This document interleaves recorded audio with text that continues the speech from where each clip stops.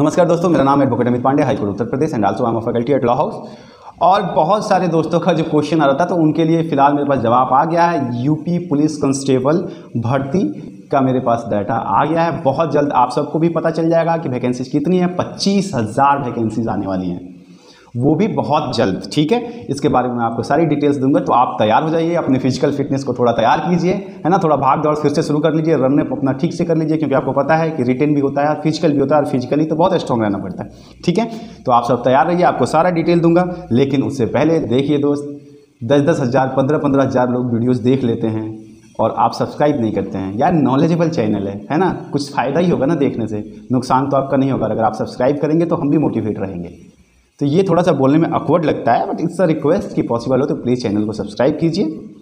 इससे आपको नॉलेज भी मिलेगा और हम मोटिवेट भी रहेंगे, ठीक है? तो चलो कंस्टेबल वालों, सब तैयार हो जाओ भाग दौड़ के लिए। देखो, पच्चीस हज़ार से ज़्यादा की वैकेंसी जाने वाली है। आपके डीजीपी मुख्यालय ने डीजीपी साहब ने जो है, उन्होंने इन पच्चीस हज़ार पदों के लिए अध्याचन बोर्ड को भेज दिया है। और अध्याचन बोर्ड ने उस पर स्वीकृति भी दे दी है तो पच्चीस हज़ार वैकेंसीज आने वाली हैं इस महीने के लास्ट तक। दिसंबर में ही हो सकता है, हो जाए, या फिर जनवरी के फ़र्स्ट वीक तक ही हो जाएगा, ठीक है ना? एज लिमिट आपको पता है जनरल की 18 से 22 हो जाएगी एस सी की पाँच साल एक्सटेंशन मिलती है एस टी की, ठीक है? तो उनकी जो होती है वो तेईस से सत्ताईस तक हो जाती है।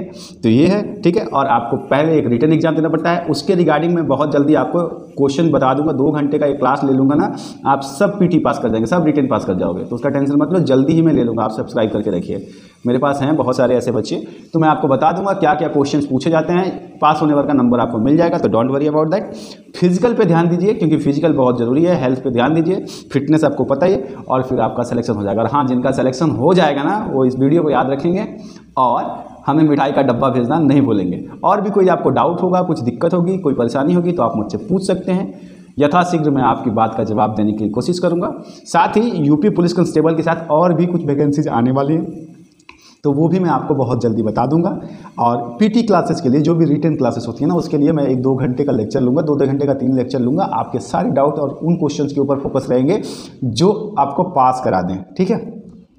तो don't worry about that all the best बस जम के चने खाइए गुण खाइए और दौड़िए, कोई दिक्कत नहीं है, आपका सिलेक्शन हो जाए और फिर सिपाही बनने के बाद रोब झाड़िएगा ठीक है? चलिए all the best for all of you नमस्कार।